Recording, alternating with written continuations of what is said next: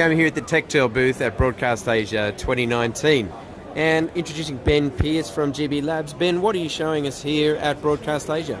Actually, uh, there's a couple of things that we're showing here. One of the most important things for us uh, this year is Mosaic, which is our inbuilt asset management. Uh, as you can see here, we were very privileged to win an award at NAB for this software. It really proves how much the industry is looking for this kind of simple asset management solution built into storage.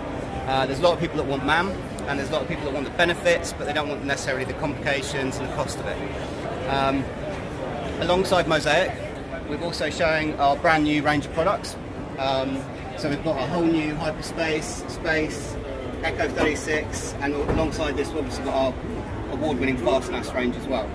Um, the space is now moved um, in terms of performance, uh, value for money, uh, and capacities, and uh, yeah, we're very happy, obviously, to be here at Broadcast Asia again with our partner Techtel, and uh, looking forward to a great year going forward.